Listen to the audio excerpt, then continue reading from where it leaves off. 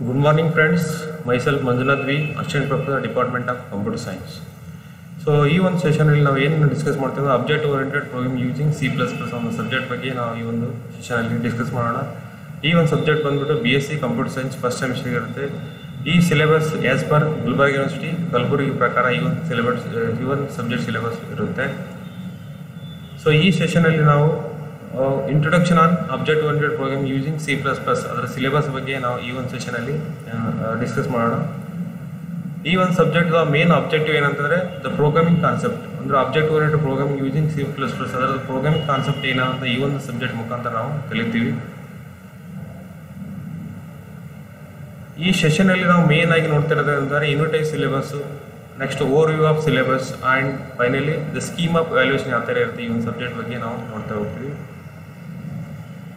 First ಯೂನಿಟ್ಗೆ ನಾವು ಏನು ಕರಿತೀವಿ ಅಂದರೆ ಪ್ರೋಗ್ರಾಮಿಂಗ್ ಕಾನ್ಸೆಪ್ಟ್ ಅಂತ ಕರಿತೀವಿ. ಆ ಪ್ರೋಗ್ರಾಮಿಂಗ್ ಕಾನ್ಸೆಪ್ಟ್ ಯಾವ ಥರ ಇರ್ತಂದರೆ algorithm and its characteristics pseudo code flow chart program identifiers variables constants primitive data types expressions structure data types arrays compilers and interpreters ಇಷ್ಟು ಏನಂತಾರೆ, ನಾವು ಫಸ್ಟ್ ಯೂನಿಟ್ ಅದ ಪ್ರೋಗ್ರಾಮಿಂಗ್ ಕಾನ್ಸೆಪ್ಟ್ ಅದ ಫಸ್ಟ್ ಯೂನಿಟ್ ಸಿಲೆಬಸ್ ಸೊ ಈ first unit ಸಿಲೆಬಸ್ನ over ನೋಡೋದಾದ್ರೆ ನಾವು ಏನು ಮಾಡ್ತಿದ್ರೆ? ಅಲ್ಗೋರಿದಮ್ ಮುಂದೆ ಏನು? ಅಂತಂದ್ರೆ ಕ್ಯಾಟ್ಸಿಕ್ ಬಗ್ಗೆ ನಾವು ಕಲಿತೀವಿ. Next pseudo code flow chart ಬಗ್ಗೆ ಕಲಿತೀವಿ. ಪ್ರೋಗ್ರಾಮ್ ಅಂದ್ರೆ ಏನು? ಐಡೆಂಟಿಫೈಯರ್ಸ್ ಅಂದ್ರೆ ಏನು? ಕಾನ್ಸ್ಟೆಂಟ್ಸ್ ಆ್ಯಂಡ್ ವೇರಿಯಬಲ್ಸ್ ಅಂದ್ರೆ ಏನು? ಅದನ್ನ ಯಾವ ಥರ ನಾವು ಪ್ರೋಗ್ರಾಮಲ್ಲಿ ಯೂಸ್ ಮಾಡ್ತೀವಿ? ಐಡೆಂಟಿಫೈಯರ್ಸ್ ಕಾನ್ಸ್ಟೆಂಟ್ಸ್ ವೇರಿಯಬಲ್ಸ್ ಅದ್ರ ಬಗ್ಗೆ ನಾವು ನೋಡ್ತಾ ಹೋಗ್ತೀವಿ. ಆಮೇಲೆ ಸಿ ಪ್ಲಸ್ ಪ್ಲಸ್ ಅಲ್ಲಿ ನಾವು ಡಾಟ್ ಟೈಪ್ಸ್ ಯಾವ ಥರ ಯೂಸ್ ಮಾಡ್ತೀವಿ ಮತ್ತು ಅದರ ಎಕ್ಸಾಂಪಲ್ಸ್ ನಾವು ನೋಡ್ತಾ ಹೋಗ್ತೀವಿ. ಆಮೇಲೆ ವೇರಿಯಸ್ ಎಕ್ಸ್ಪ್ರೆಷನ್ಸ್ಗಳನ್ನು ನಾವು ಈ ಒಂದು ಸಿ ಪ್ಲಸ್ ಪ್ಲಸ್ ಪ್ರೋಗ್ರಾಮಲ್ಲಿ ಯೂಸ್ ಮಾಡ್ತೀವಿ. ಸೊ ಅದ್ರ ಬಗ್ಗೆ ನಾವು ಕಲಿತಾ ಹೋಗ್ತೀವಿ. ನೆಕ್ಸ್ಟ್ ಸ್ಟ್ರಕ್ಚರ್ ಡಾಟಾ ಟೈಪ್ಸ್ ಅಂದ್ರೆ ಏನು? ಅದನ್ನು ಯಾವ ಥರ ನಾವು ಪ್ರೋಗ್ರಾಮಲ್ಲಿ ಯೂಸ್ ಮಾಡ್ತೀವಿ? ಅದ್ರ ಬಗ್ಗೆ ನಾವು ಕಲಿತಾ ಹೋಗ್ತೀವಿ. ನೆಕ್ಸ್ಟ್ ಅರೇಸ್ ಅಂದ್ರೆ ಏನು? ಆ್ಯಂಡ್ ಇಟ್ಸ್ ಟೈಪ್ಸ್ ಅಂದ್ರೆ ಅದ್ರ ಟೈಪ್ಸ್ ಬಗ್ಗೆ ನಾವು ಕಲಿತಾ ಹೋಗ್ತೀವಿ. ಆಮೇಲೆ next difference between the compilers and interpreters ಅದ್ರ ಬಗ್ಗೆ ನಾವು ಈ ಒಂದು ಸೆಷನಲ್ಲಿ ಕಲಿತಾ ಹೋಗ್ತೀವಿ. ನೆಕ್ಸ್ಟ್ ನಾವು ಸೆಕೆಂಡ್ ಯೂನಿಟ್ ಬಂದರೆ object oriented concepts object oriented concept ಏನಿರ್ತಾರೆ abstraction encapsulation object classes methods constructors inheritance static and dynamic binding overloading program development object oriented analysis design unit testing and debugging system testing and integration and maintenance so ಇಷ್ಟು ಎಲ್ಲ ಬಂದ್ಬಿಟ್ಟು ನಾವು second unit ಏನದ? Syllabus ಅಂದ್ರೆ object oriented concept ಅದ. ಒಂದು ಸಿಲೆಬಸ್ನ ನಾವು ನೋಡ್ತಾ ಹೋಗ್ತೀವಿ ಇಲ್ಲಿ ಸೆಕೆಂಡ್ ಯೂನಿಟಲ್ಲಿ ಈ ಸೆಕೆಂಡ್ ಯೂನಿಟ್ ನಾವು ಸಿಲೆಬಸ್ ಓವರ್ ವ್ಯೂ ನೋಡೋದಾದರೆ so object oriented concepts ಯಾವಂದರೆ abstraction encapsulation objects and classes and methods ಇಷ್ಟೆಲ್ಲ ಏನಂತಂದರೆ ಅಬ್ಜೆಕ್ಟ್ ಓರಿಯೆಂಟೆಡ್ ಕಾನ್ಸೆಪ್ಟ್ ಇದ್ರ ಬಗ್ಗೆ ನಾವು ಒಂದೊಂದಾಗಿ ನಾವು ಕಲಿತಾ ಹೋಗ್ತೀವಿ. ಇನ್ನು ನೆಕ್ಸ್ಟ್ ಬಂದರೆ ನಾವು ಕಾನ್ಸ್ಟ್ರಕ್ಟರ್ ಅಂದರೆ ಏನು? ಮತ್ತು ಅದರ ಟೈಪ್ಸ್ ಬಗ್ಗೆ ನಾವು ಕಲಿತಾ ಹೋಗ್ತೀವಿ. ಆಮೇಲೆ ಕಾನ್ಸೆಪ್ಟ್ ಆಫ್ ಇನ್ಹೆರಿಟೆನ್ಸ್ ಮತ್ತು ಅದರ ಟೈಪ್ಸ್ ಬಗ್ಗೆ ಕಲಿತೀವಿ. ಪಾಲಿಮಾರ್ಫಿಸಮ್ ಅಂದ್ರೆ ಏನು? ಮತ್ತು ಅದ್ರ ಬಗ್ಗೆ ನಾವು ಟೈ ಅದರ ಟೈಪ್ಸ್ ನಾವು ಕಲಿತಾ ಹೋಗ್ತೀವಿ. ಆಮೇಲೆ concept of static and dynamic binding ಬಗ್ಗೆ ಕಲಿತೀವಿ. ಆಮೇಲೆ ಓವರ್ಲೋಡಿಂಗ್ ಅಂದ್ರೆ ಏನು? ಮತ್ತು ಅದರ ಕಾನ್ಸೆಪ್ಟ್ ನಾವು ಕಲಿತಾ ಹೋಗ್ತೀವಿ. ಆಮೇಲೆ various types of object oriented analysis and design ಯಾವ ಥರ ನಾವು ಇಂಟರ್ಪ್ರಿಟ್ ಮಾಡ್ತೀವಿ ಈ ಒಂದು ಆಬ್ಜೆಕ್ಟ್ ಓರಿಯೆಂಟೆಡ್ ಅನಲಿಸ್ ಡಿಸೈನ್ ಸ್ಟೆಪ್ಸ್ಗಳನ್ನು ನೋಡ್ತಾ ಹೋಗ್ತೀವಿ. ಅಲ್ಲಿ next again you to comparison between the unit testing and system testing methods ನಾವು ನೋಡ್ತಾ ಹೋಗ್ತೀವಿ. ಸೊ ಇದು ಬಂದ್ಬಿಟ್ಟು ಟೋಟಲಿ ನಾವು second unit the syllabus overview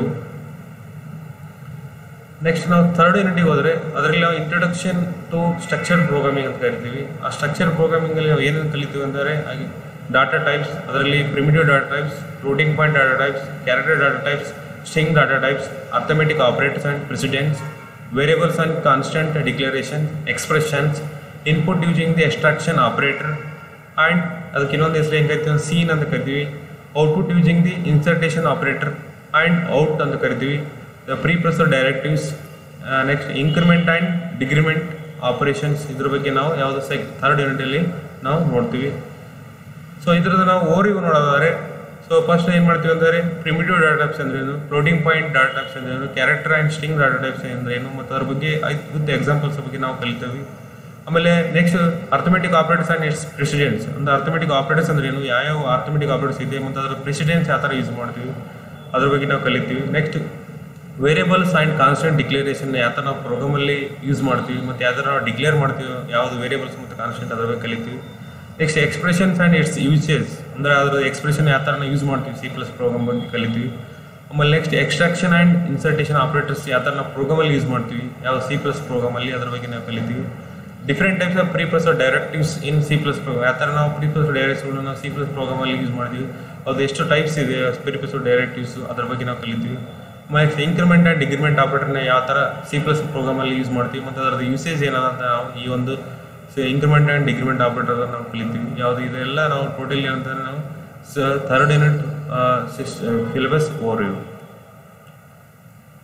so ಇನ್ನು ಫೈನಲಿ ನಾವು ಯಾವ್ದಂದ್ರೆ ಫೋರ್ತ್ ಯೂನಿಟ್ ನೋಡ್ತೀವಿ. ಆ ಫೋರ್ತ್ ಯೂನಿಟಿಗೆ ನಾವು ಏನು ಕರಿತೀವಿ ಅಂದ್ರೆ ರೈಟಿಂಗ್ ಸಿ ಪ್ಲಸ್ ಪ್ರೋಗ್ರಾಮ್ ಅಂತ ಕರಿತೀವಿ. ಸೊ ಇದರಲ್ಲಿ ನಾವು ಏನೇನು ನೋಡ್ತೀವಿ ಅಂದ್ರೆ ಇಂಪಾರ್ಟೆಂಟ್ ಔಟ್ಪುಟ್ ಸ್ಟೇಟ್ಮೆಂಟ್ ನೋಡ್ತೀವಿ. ರಿಲೇಷನಲ್ ಆಪರೇಟರ್ಸ್ ಇದೆ ಲಾಜಿಕಲ್ ಆಪರೇಟರ್ಸ್ ಇದೆ ಲಾಜಿಕಲ್ ಎಕ್ಸ್ಪ್ರೆಷನ್ಸ್ ಇದೆ. If and if else statement ಇದೆ switch case and break statements ಇದೆ. For while, do while loops ಇದೆ ಬ್ರೇಕ್ ಆ್ಯಂಡ್ ಕಂಟಿನ್ಯೂ ಸ್ಟೇಟ್ಮೆಂಟ್ ಇದೆ. ನೆಸ್ಟೆಡ್ ಕಂಟ್ರೋಲ್ ಸ್ಟೇಟ್ಮೆಂಟ್ ಇದೆ. Value returning functions void functions, value versus reference parameters, local and global variables static and automatic variables and finally enumeration types. So, ಇಷ್ಟೊಂದು syllabus ಬಂದುಬಿಟ್ಟು ನಾವು ಇದಕ್ಕೆ ನಾವು ಏನು ಕರಿತೀವಿ ಅಂತಂದರೆ ಫೋರ್ತ್ ಯೂನಿಟ್ ಸಿಲೆಬಸ್ ಇದೆ ಅಂದರೆ ರೈಟಿಂಗ್ಗೆ ಸಿ ಪ್ಲಸ್ ಪ್ಲಸ್ ಪ್ರೋಗ್ರಾಮ್ ಬರೀಬೇಕಾದ್ರೆ ನಮಗೆಲ್ಲ ಈ ಥರ ಒಂದು ಸಿಲೆಬಸ್ ನಮ್ಗೆ ಬೇಕು? ಅಂದಾಗ ಮಾತ್ರ ಏನಾಗುತ್ತೆ? ನಾವು ಸಿ ಪ್ಲಸ್ ಪ್ಲಸ್ ಪ್ರೋಗ್ರಾಮ್ನ ಬರೆಯೋಕ್ಕೆ ಸಾಧ್ಯ ಆಗುತ್ತೆ. ಸೊ ಈ ಒಂದು ಫೋರ್ತ್ ಯೂನಿಟ್ ಸಿಲೆಬಸ್ನ ಓರಿವ್ ನೋಡಿದರೆ, ನಾವು ಫಸ್ಟ್ ಆಗಿ ಏನು ಮಾಡ್ತೀವಿ ಅಂದರೆ input and output statement usage ಏನಿದೆ, ಯಾವುದು, ಆ ಸಿ ಪ್ಲಸ್ ಪ್ರೋಗ್ರಾಮಲ್ಲಿ ನೋಡ್ತೀವಿ. ಆಮೇಲೆ ರಿಲೇಷನಲ್ ಆಪ್ರೇಟರ್ಸ್ ವಿತ್ ಎಕ್ಸಾಂಪಲ್ಸ್ ಬಗ್ಗೆ ನೋಡ್ತೀವಿ. Logical operators and expressions usage ಏನಿದೆ ಸಿ ಪ್ಲಸ್ ಪ್ರೋ ಅದರ ಬಗ್ಗೆ ನೋಡ್ತೀವಿ. Different types of looping statements with examples ಮತ್ತು ಅದರ ಯೂಸೇಜ್ ನೋಡ್ತೀವಿ. Concept of control structure statement ಬಗ್ಗೆ ನೋಡ್ತೀವಿ. ವ್ಯಾಲ್ಯೂ ಆ್ಯಂಡ್ ರೆಫರೆನ್ಸ್ ಪ್ಯಾರಾಮೀಟರ್ ನೋಡ್ತೀವಿ, ಅದ್ರ ಮತ್ತು ಡಿಫರೆನ್ಸ್ ನೋಡ್ತೀವಿ. ವ್ಯಾಲ್ಯೂ ಮತ್ತು ರೆಫರೆನ್ಸ್ ಪ್ಯಾರಾಮೀಟರ್ ಏನು ಡಿಫ್ರೆನ್ಸ್ ಇದೆ ಅದ್ರ ಬಗ್ಗೆ ನಾವು ಕಲಿತೀವಿ. ಆಮೇಲೆ different types of variables like local global static and automatic ಮತ್ತು ಇದರದ್ದು ಯೂಸೇಜ್ ಅಂದರೆ ಈ ಒಂದು ವೇರಿಯಬಲ್ಸ್ ನಾವು ಏನು ಯೂಸ್ ಮಾಡ್ತೀವಿ ಅದರ ಯೂಸೇಜ್ ಏನಿದೆ, ಆ ಸಿ ಪ್ಲಸ್ ಪ್ರೋಗ್ರಾಮ್ ಬಗ್ಗೆ ನೋಡ್ತೀವಿ. ಸಿ ಪ್ಲಸ್ ಪ್ರೋಗ್ರಾಮಲ್ಲಿ ಅದರ ಬಗ್ಗೆ ಯೂಸೇಜ್ ನಾವು ಕಲಿತೀವಿ. ಆಮೇಲೆ ಕಾನ್ಸೆಪ್ಟ್ ಆಫ್ ಎನುಮರೇಷನ್ ಆ್ಯಂಡ್ ಇಸ್ಟ್ ಟೈಪ್ಸ್ ಮತ್ತು ಕಾ ಎನುಮರೇಷನ್ ಅಂದ್ರೆ ಏನು? ಮತ್ತು ಅದರ ಟೈಪ್ ಬಗ್ಗೆ ನಾವು ಕಲಿತೀವಿ. ಸೊ ನೆಕ್ಸ್ಟ್ ನಾವು ಸ್ಕೀಮ್ ಆಫ್ ವ್ಯಾಲ್ಯೂಯೇಷನ್ಗೆ ಬಂದರೆ ಸೊ ನಮಗೆ ಎಷ್ಟಿದೆ ಅಂತಂದರೆ ಸ್ಕೀಮ್ ಆಫ್ ವ್ಯಾಲ್ಯೂಯೇಷನ್ ಯಾವ ಥರ ಅಂತಂದರೆ ಈ ಥರ ನಾವು ನೋಡ್ತೀವಿ. ಫಸ್ಟ್ ಯೂನಿಟ್ ವೈಸ್ ಮತ್ತು ಅದರಲ್ಲಿ ಟೂ ಮಾರ್ಕ್ಸ್ ಕ್ವೆಶನ್ಸ್ ಎಷ್ಟು ಫೈವ್ ಮಾರ್ಕ್ಸ್ ಕ್ವೆಶನ್ಸ್ ಎಷ್ಟು ಟೆನ್ ಮಾರ್ಕ್ಸ್ ಕ್ವೆಶನ್ಸ್ ಎಷ್ಟು ನಾವು ನೋಡ್ತೀವಿ. ನಾವು ಯೂನಿಟ್ ಅಂದರೆ ಫೋರ್ ಯೂನಿಟ್ಸ್ ಇದೆ. First unit second unit third unit ಇದೆ. ಟೂ ಮಾರ್ಕ್ಸ್ ಕ್ವೆಶನ್ಸ್ ಅಂದರೆ ಫಸ್ಟ್ ಯೂನಿಟಲ್ಲಿ ಎರಡು ಕ್ವೆಶನ್ ಬರುತ್ತೆ ಸೆಕೆಂಡ್ ಯೂನಿಟಲ್ಲಿ ಎರಡು ಕ್ವೆಶನ್ ಬರುತ್ತೆ ಥರ್ಡ್ ಯೂನಿಟಲ್ಲಿ ಮೂರು ಕ್ವೆಶನ್ ಬರುತ್ತೆ ಫೋರ್ತ್ ಯೂನಿಟಲ್ಲಿ ಮೂರು ಕ್ವೆಶನ್ ಬರುತ್ತೆ. ಇನ್ನು ಫೈವ್ ಮಾರ್ಕ್ಸ್ ಕ್ವೆಶನ್ ಅಂದರೆ ಫಸ್ಟ್ ಯೂನಿಟಲ್ಲಿ ಒಂದು ಕ್ವೆಶನ್ ಬರುತ್ತೆ ಸೆಕೆಂಡ್ ಯೂನಿಟಲ್ಲಿ ಒಂದು ಕ್ವೆಶನ್ ಬರುತ್ತೆ ಥರ್ಡ್ ಯೂನಿಟಲ್ಲಿ ಎರಡು ಕ್ವೆಶನ್ ಬರುತ್ತೆ ಫೋರ್ತ್ ಯೂನಿಟಲ್ಲಿ ಎರಡು ಕ್ವೆಶನ್ ಬರುತ್ತೆ. ಇನ್ನು ಟೆನ್ ಮಾರ್ಕ್ಸ್ ಕ್ವೆಶನ್ ಅಂತಾರೆ ಫಸ್ಟ್ ಯೂನಿಟಲ್ಲಿ ಎರಡು ಕ್ವೆಶನ್ ಬರುತ್ತೆ ಸೆಕೆಂಡ್ ಯೂನಿಟಲ್ಲಿ ಎರಡು ಕ್ವೆಶನ್ ಬರುತ್ತೆ ಥರ್ಡ್ ಯೂನಿಟಲ್ಲಿ ಒಂದು ಕ್ವೆಶನ್ ಬರುತ್ತೆ ಫೋರ್ತ್ ಯೂನಿಟಲ್ಲಿ ಒಂದು ಕ್ವೆಶನ್ ಬರುತ್ತೆ. ಸೊ ಇದು ಏನಾದ್ರೆ ಸ್ಕೀಮ್ ಆಫ್ ವ್ಯಾಲ್ಯೂಷನ್ ಮತ್ತು ನೆಕ್ಸ್ಟ್ ನಾವು ಕ್ವಶನ್ ಪೇಪರ್ ಯಾವ ಥರ ಪ್ರಿಪೇರ್ ಮಾಡ್ತಾರೆ ಅಂದರೆ ಮೂರು ಸೆಕ್ಷನ್ ಆಗಿ ಪ್ರಿಪೇರ್ ಮಾಡ್ತಾರೆ. ಅಂದರೆ section A section B section C section ಎಯಲ್ಲಿ ಹತ್ತು ಕ್ವಶನ್ ಇರುತ್ತೆ. ಟೂ ಮಾರ್ಕ್ಸಿಗೆ ಇರುತ್ತೆ ಸೊ ಆ ಒಂದು ಕ್ವಶನ್ಸ್ ಅಲ್ಲಿ ಎಲ್ಲ ಕ್ವಶನ್ ನಾವು ಆನ್ಸರ್ ಮಾಡಬೇಕಾಗತ್ತೆ. ಸೊ ಅದಕ್ಕೆ ಏನಾಗುತ್ತೆ ಅಂದ್ರೆ ಟೆನ್ ಇಂಟು ಟು ಅಂದರೆ ನಮಗೆ ಎಷ್ಟು ಸಿಗುತ್ತೆ ಅಂದರೆ ಟ್ವೆಂಟಿ ಮಾರ್ಕ್ಸ್ ನಮ್ಗೆ ಯಾವುದು ಸೆಕ್ಷನ್ ಎ ಇಂದ ನಮ್ಗೆ ಸಿಗುತ್ತೆ. ಸೆಕ್ಷನ್ ಬಿ ಬಂದರೆ ಸಿಕ್ಸ್ ಕ್ವಶನ್ಸ್ ಇರುತ್ತೆ ಫೈವ್ ಮಾರ್ಕ್ಸಿಗೆ ಆ ಸಿಕ್ಸ್ ಕ್ವಶನಲ್ಲಿ ನಾವು ಅಟ್ಲೀಸ್ಟ್ ನಾವು ನಾಲ್ಕು ಕ್ವಶನ್ಗೆ ನಾವು ಆನ್ಸರ್ ಮಾಡಬೇಕಾಗುತ್ತೆ. ಸೊ ಫೋರ್ ಇಂಟು ಫೈವ್ ಅಂತಾರೆ ಅಗೇನ್ ನಮ್ಗೆ ಟ್ವೆಂಟಿ ಮಾರ್ಕ್ಸ್ ಸಿಗುತ್ತೆ. ಯಾವುದೋ ಸೆಕ್ಷನ್ ಬಿ ಇಂದ. ಸೆಕ್ಷನ್ ಸಿ ನಾವು ಬಂದರೆ ಅಗೇನ್ ಸಿಕ್ಸ್ ಕ್ವಶನ್ಸ್ ಇರುತ್ತೆ. ಸೊ ಟೆನ್ ಮಾರ್ಕ್ಸಿಗೆ ಆ ಸಿಕ್ಸ್ ಕ್ವಶನಲ್ಲಿ ನಾವು ಫೋರ್ ಕ್ವಶನ್ಗೆ ಮಾತ್ರ ನಾವು ಆನ್ಸರ್ ಮಾಡಿರಬೇಕಾಗುತ್ತೆ. ಸೊ ಫೋರ್ ಇಂಟು ಟೆನ್ ಅಂದರೆ ನಮಗೆ ಫಾರ್ಟಿ ಮಾರ್ಕ್ಸ್ ಯಾವುದೋ ಸೆಕ್ಷನ್ ಸಿ ಇಂದ ನಮಗೆ ಸಿಗುತ್ತೆ. ಸೊ ಸೆಕ್ಷನ್ ಎ ಇಂದ ಟ್ವೆಂಟಿ ಮಾರ್ಕ್ಸ್ ಸೆಕ್ಷನ್ ಬಿ ಇಂದ ಟ್ವೆಂಟಿ ಮಾರ್ಕ್ಸ್ ಸೆಕ್ಷನ್ ಸಿ ಇಂದ ಫಾರ್ಟಿ ಮಾರ್ಕ್ಸ್ ಟೋಟಲಿ ಅಂತಾರೆ? ಏಯ್ಟಿ ಮಾರ್ಕ್ಸಿಗೆ ನಮ್ಗೆ ಈ ಒಂದು ಪೇಪರ್ನ ಬರಿಬೇಕಾಗುತ್ತೆ. ಅಂದರೆ ಟೋಟಲ್ ನಮ್ಗೆ ನಮ್ಗೆ ಏಯ್ಟಿ ಮಾರ್ಕ್ಸ್ ಈ ಒಂದು ಯಾವುದೋ object oriented using C plus ಅನ್ನೋ ಒಂದು ಸಬ್ಜೆಕ್ಟ್ ಪೇಪರ್ನ ಬರಿಬೇಕಾಗುತ್ತೆ. ಈ ಥರ ನಾವು ಸ್ಕೀಮ್ ಆಫ್ ವ್ಯಾಲ್ಯೂಷನ್ನ ಮಾಡ್ತಾರೆ ಸೊ ನೆಕ್ಸ್ಟ್ ನಾವು ಏನನ್ನ ಈ ಒಂದು ಸೆಷನಲ್ಲಿ ನಾವು ಡಿಸ್ಕಸ್ ಮಾಡಿದ್ವಿ ಅಂದರೆ ಯೂನಿಟ್ ಒನ್ ಸಿಲೆಬಸ್ ಮತ್ತು ಅದರದ್ದು ಓವರ್ ಇವ್ ನೋಡಿದ್ವಿ. ಯೂನಿಟ್ ಟು ಸಿಲೆಬಸ್ ನೋಡಿದ್ವಿ ಮತ್ತು ಅದರ ಓವರ್ ಬಗ್ಗೆ ನೋಡಿ ನೋಡಿದ್ವಿ. ಯೂನಿಟ್ ತ್ರೀ ಸಿಲೆಬಸ್ ನೋಡಿದ್ವಿ ಮತ್ತು ಅದರ ಓವರ್ ಇವ್ ನೋಡಿದ್ವಿ. ಯೂನಿಟ್ ಫೋರ್ ಸಿಲೆಬಸ್ ನೋಡಿ ಮತ್ತು ಅದರ ಓವರ್ ಇವ್ ನೋಡಿದ್ವಿ. ಮತ್ತು ಫೈನಲ್ ಅಂತಂದರೆ ಸ್ಕೀಮ್ ಆಫ್ ವ್ಯಾಲ್ಯೂಸನ್ನು ನಾವು ನೋಡಿದ್ವಿ.